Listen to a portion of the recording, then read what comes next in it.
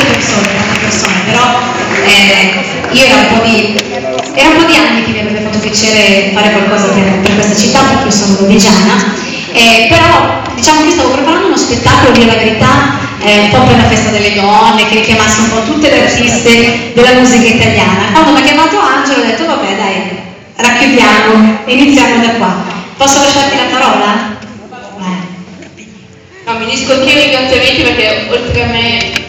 che mi occupo, si occupa di violenza in città c'è veramente tantissima gente, più di quanto forse possiamo anche immaginare. Buona parte oggi è qua e attraverso loro il mio ringraziamento anche a chi non è qui oggi, ma che voglio chiudere un po' in positivo, ha permesso quest'anno che, di portare tante donne per mano fuori dalla spirale della violenza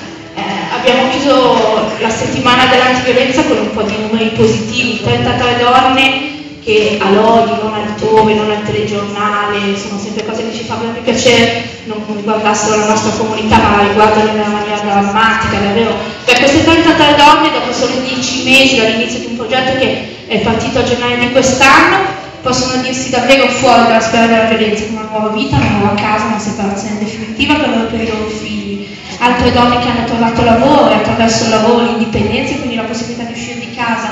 Sono 130 le donne che quest'anno hanno seguito il percorso del centro antiviolenza e che sono ancora in cammino per uscire da questa cosa. Quindi giornate come quella di oggi servono anzitutto a farci rendere conto che questa cosa è nella nostra città, a fare in modo che se ci capita qualche amica per cui abbiamo solo il sospetto che ci sia qualcosa che non va, possiamo darle dei piani del centro antiviolenza, dire di rivolgersi in comune, in un qualsiasi punto di ascolto in città,